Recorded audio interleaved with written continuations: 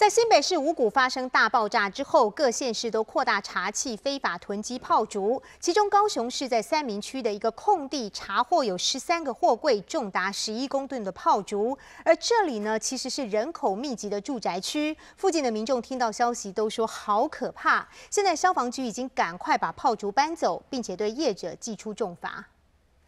这一箱箱从货柜中搬出来堆放的，都是具有高度危险性的各式爆竹，里面有冲天炮、连珠炮，甚至还有没有经过认证的高空烟火。高雄市消防局根据检举，在三明区三明高中附近的住宅区内，查获十三个货柜，里头有九百九十二箱，总重量高达十一公吨的非法囤积爆竹。查获哈，包括有一般的爆竹烟火，还有专业用的专业烟火。另外还有高危险性的高空烟火，那这个总数量哈，因为数量庞大，所以我们还在这个加派弟兄哈，来这个尽快清点当中。居民得知后，对于住家附近有这样的危险物品，都吓了一大跳。这惊啦，哎呀，现在在台北去叫做知影，对不对？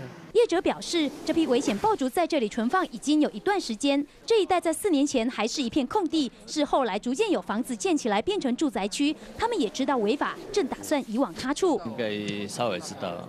就是要搬了啊，就是跟那个有跟住家商量，给我给我时间。